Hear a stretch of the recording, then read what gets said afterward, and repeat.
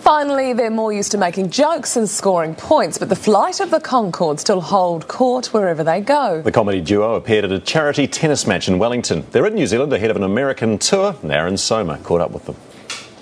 It's comedy they do best. You know the rule? No, All right.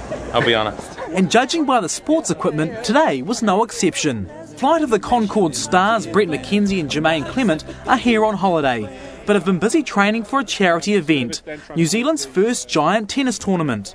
Basically, just training for this. We've been out most days, um, but we only had normal tennis size rackets, so we used ping pong balls. We've been Um, drinking giant eggs. yeah. The pair's hit television show has a cult following.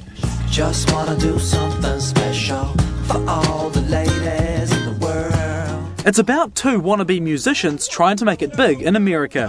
Are you thinking what I'm thinking? No, I'm thinking what I'm thinking. So you're not thinking what I'm thinking? With many awards to show for their success, most recently a Grammy, what do they think of the fans, fame, and fortune? What's that like? Um, It's a many tiered question. yeah.